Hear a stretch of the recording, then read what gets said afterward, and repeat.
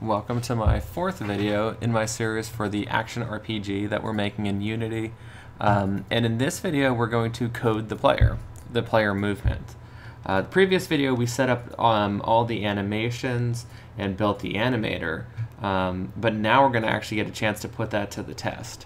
Um, and so we'll see if we've hopefully followed all the steps correctly. We'll hopefully see if the player works. If and if not, um, we'll take a look to see what could be wrong. So we're pretty much ready at this point to begin scripting the player. Um, well, I guess I need to add some physics to the player.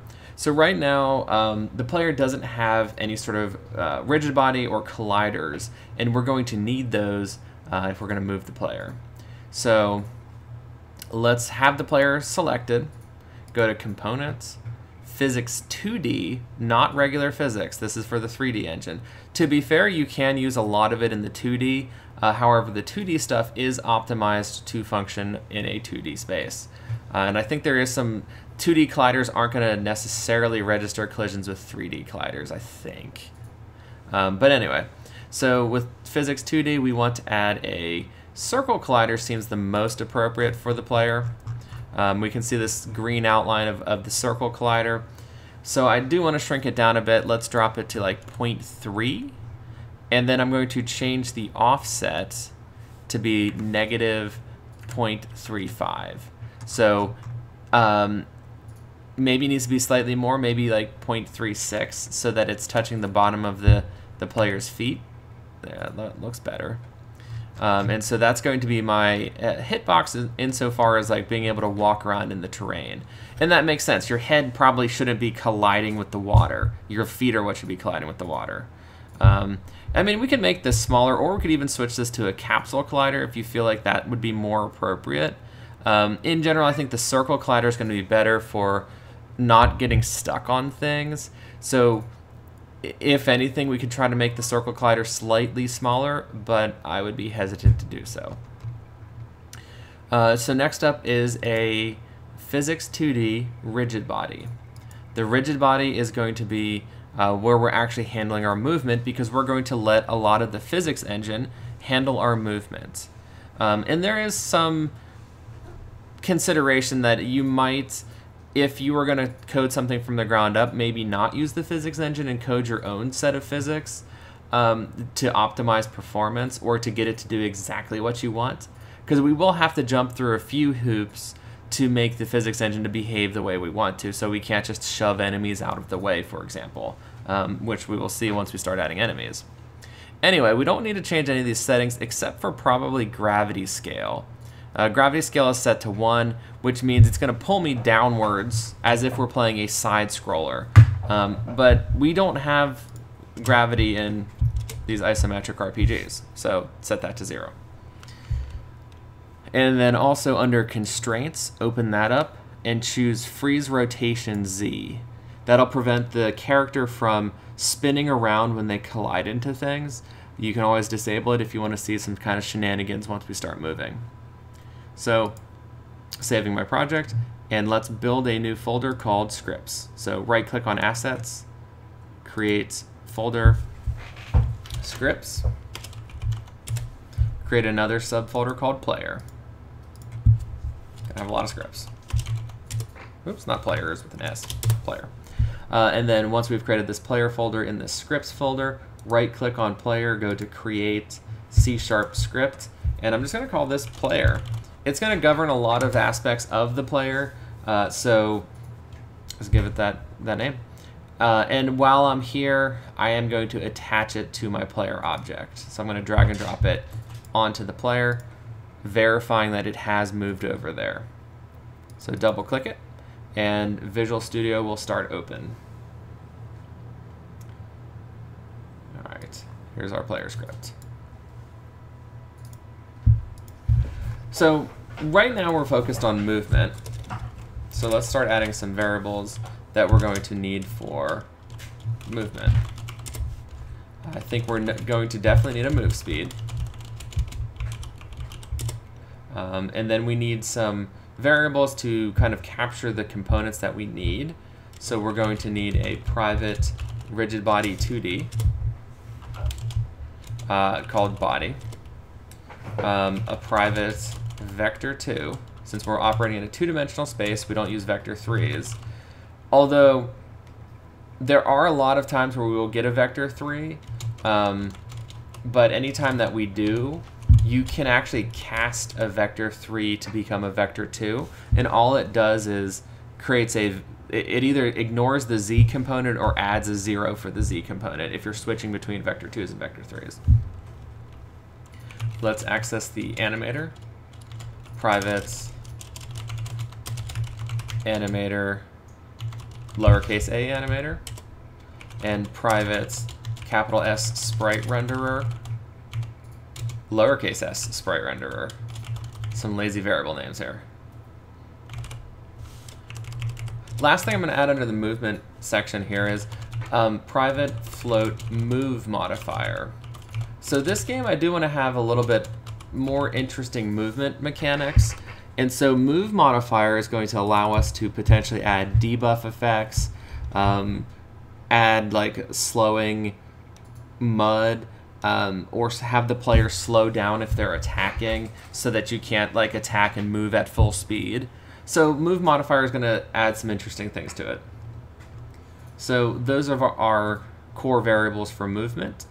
Under start, we've got to kind of do the usual suspects, basically binding the components to their variables.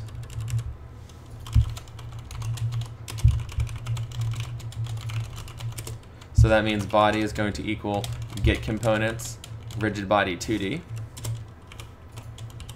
Um, animator is going to equal get components animator. Um, sprite renderer is going to equal the get components sprite renderer, capital S sprite renderer. All right, and so that's attached all of our um, components that we need, and I don't think I need to change much else in here, so we're probably fine moving on to the update function. Put some comments here. It's going to get kind of large.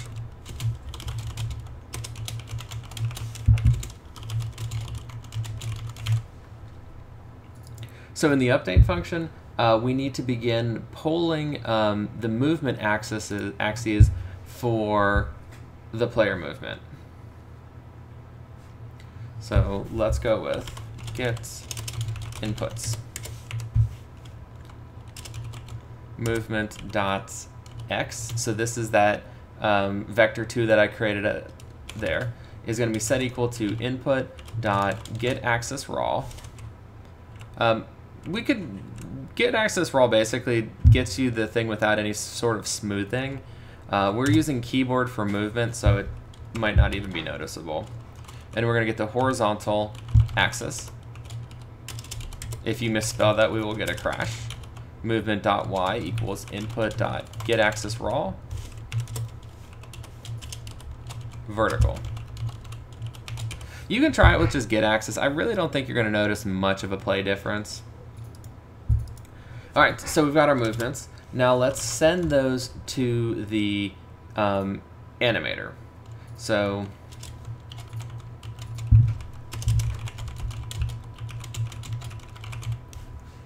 We're going to send those to the animator. So animator dot set floats. That's going to tell it those variables that we created, and so we have to spell it correctly. This this is the name of the variable from um, the animator panel. So let me just finish typing this out.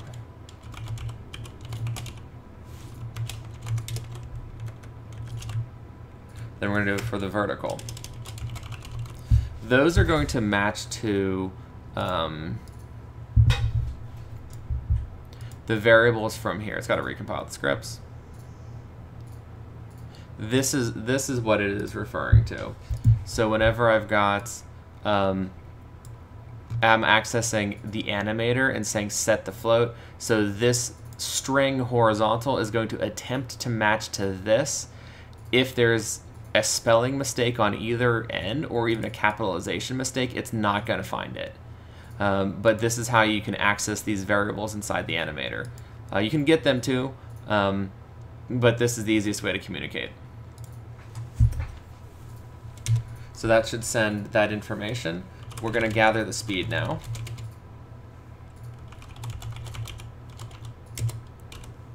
So this should get the overall direction that I'm pressing.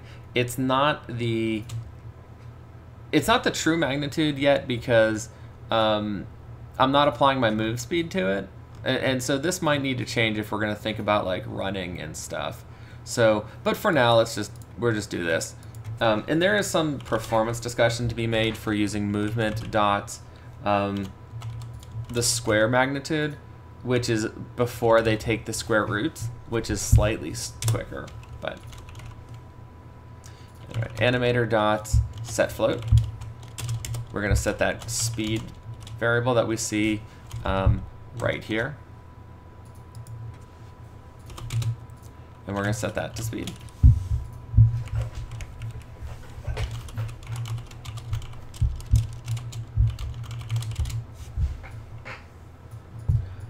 All right. Um, so we've got all that. And let's hit save. We now need to actually begin the move. So um, that is a fixed update task because we are interacting with physics. So let's start adding fixed update.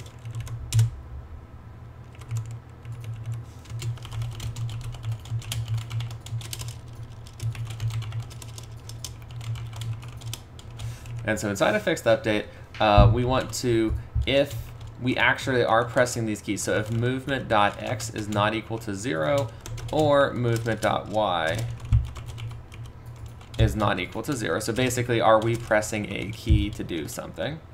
Um, now,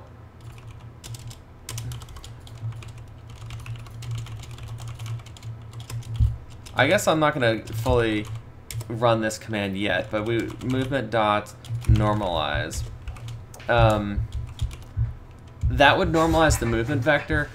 The reason that that's an issue is because of this kind of effect in a game. So let's say we have a player, and the player is right there, and we push the up key. Well, you know, normally this is just going to be 1.0 and it's going to be multiplied by our move speed, whatever. Let's just assume our move speed is 1. So you're, you're traveling at a speed of 1.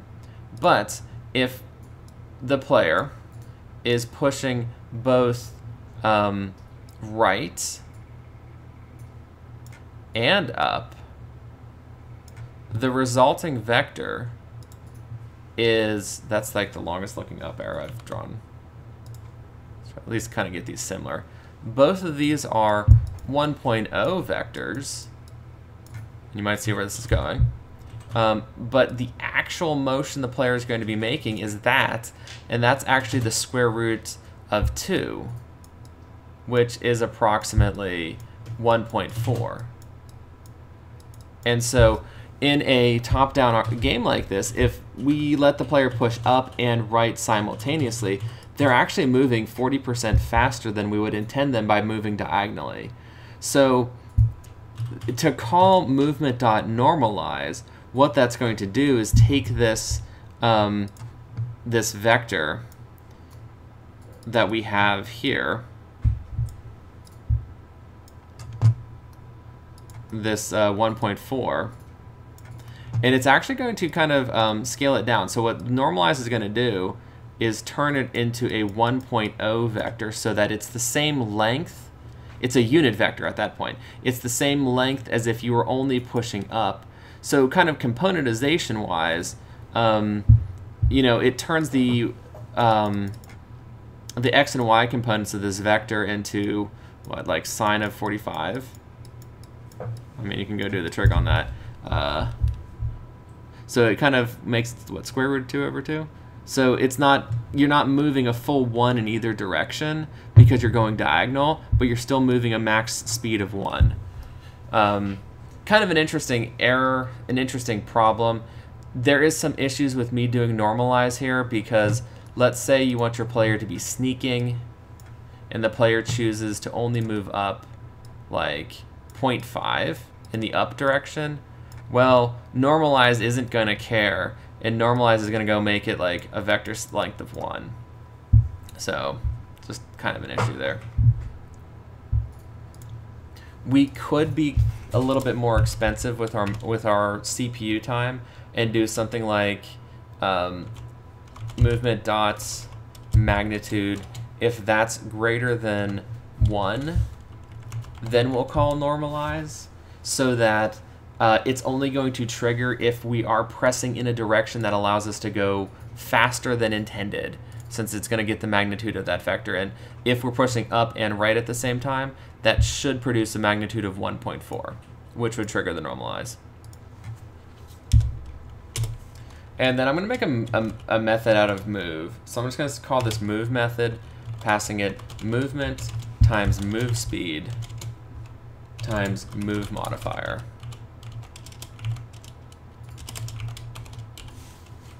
Oh. Capital N move. I'm doing this because then once we make this move method, we can just copy and paste it for the enemy later. Hmm, probably should be a private method. Private void move. Oh. Autocomplete is sometimes annoying, but I love autocomplete so much that I can deal with those one moments of annoyances. So we're going to take a vector 2 called move.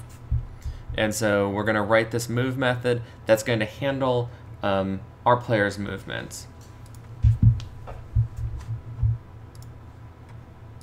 So we'll just kind of keep it mostly clean for now. Uh, one of the things that we are going to have to do in the future is once we start having enemies and stuff, we're going to have to add some code to prevent the player from just shoving the enemies out of the way. But for now, um, let's not too, focus too much on that. So there's a couple different approaches we can do to moving. And this is one that's pretty straightforward. If we just do body dot move position, that's just going to kind of do a physics-based movement. It's going to figure out the destination I'm trying to go to and just snap me to it. Yeah, this one does require time dot delta time to work right. So I take uh, body dot position plus move times time dot delta time. So let's see how that works. Hit save. And we should be able to jump right back into here. Go into our scene. Player has the script attached, move speed is 5, everything looks good, hit play and we can see that the animator's already kicking in. I've got motion on the player. Um, I've got some weird oddities to these, which we're going to have to address soon. I'm going to catch that in this video. Alright, so player moves. Pretty good. This is a pretty clean way to handle movement. Um, I don't have the camera following the player yet, so I can't really verify everything else. Um, but you'll see that the player is always like snapping back to looking down. So we might, what I, I, I kind of feel like doing is uh, having him follow the, the mouse so he looks in the direction the mouse is looking since we'll be able to make a ranged attack where the mouse is facing. So that kind of makes sense the player should look at it.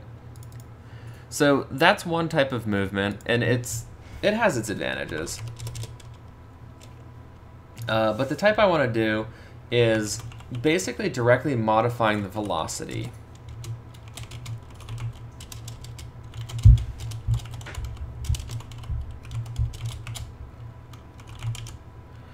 I'm gonna create an, I'm just gonna directly set the velocity to be um, a small fraction of my movement vector.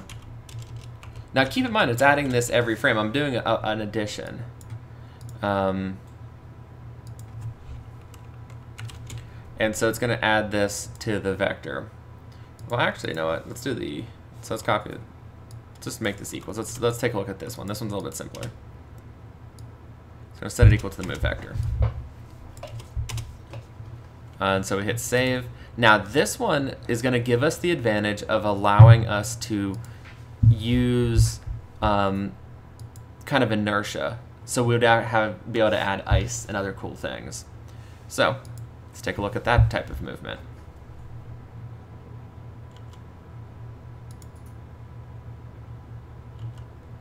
A lot slidier. Uh, the problem here is my player doesn't have a drag. So we want to go to the player and then take a look at its rigid body. Give a mass maybe like 5 or something. Linear drag, 10 feels pretty good for this. So with a drag, linear drag of 10 and a mass of 5, it kind of gives you a nice little like stopping slide. And so you don't immediately stop. And you can increase the drag if that's still not something you like. Um, and the last type I want to try. Uh, this one is, is kind of simple, but I think we get an overall better feel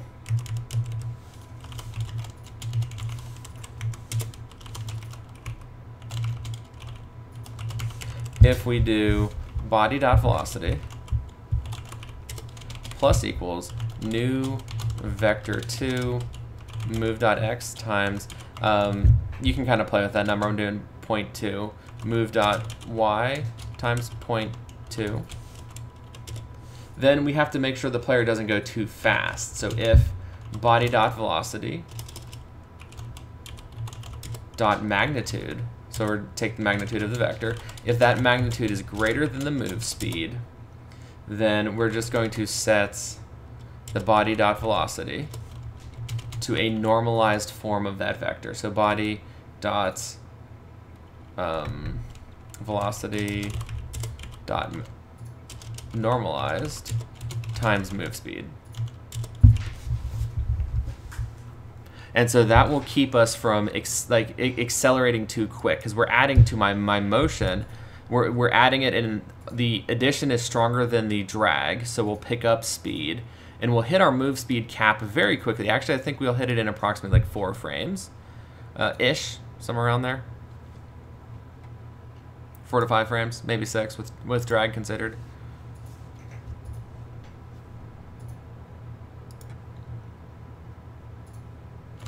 And so now if I tap the key, I go a little bit less.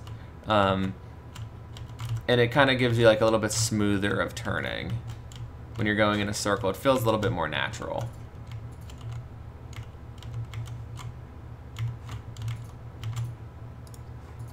Alright, next up, let's get the player to follow the mouse, because that seems like something that is relatively important. Um, that's going to be handled up here under update. And that's kind of going to be pretty straightforward. Um,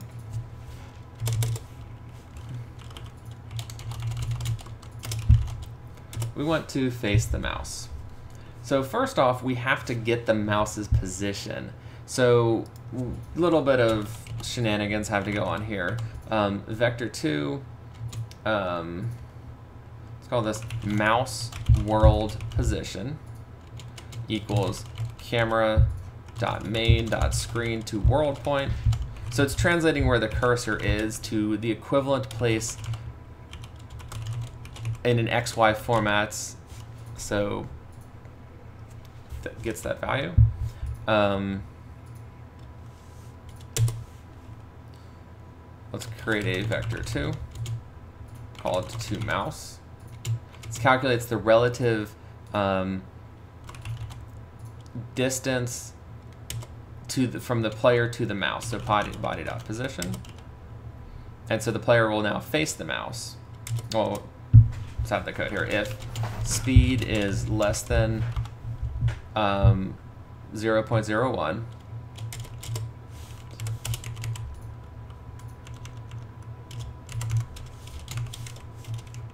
so American type here. Um, if, if it's less than, we're going to do animator. Oh, actually, we just copy this animator.setFloat horizontal and setFloat vertical, but instead of setting them to the movement, I'm going to set them to the toMouse.x and two toMouse.y. And so now it's going to use those to determine what to look at. So if we're not moving, he, the, the player is going to face the mouse. If we are moving, the player is going to use this movement to determine that. So we can hit save. Um, and now the player should be facing the mouse.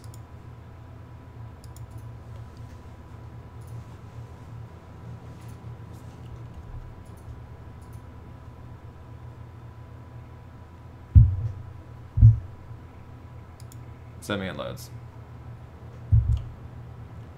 So now, like when I'm moving, if the, the player doesn't care where the mouse is because the player's going to walk in the direction the player's moving. But if I stop, the player's going to go face the mouse. So that way I can kind of control which way I'm looking, uh, but whenever I'm walking, the walking takes precedence over uh, which way to be looking. Um, so I think um, at this point we're kind of 25 minute mark. Um, I think we'll explore adjusting the um, the overlap when we actually get the camera to start following the player. So we'll do that task in the next video. Uh, get the camera to actually see the world. Um, right now we can move, we can kind of test some of these colliders. Um, the player is not going to correctly appear on top of things yet. Um, but we will do that in the next video when we get the camera to follow the player.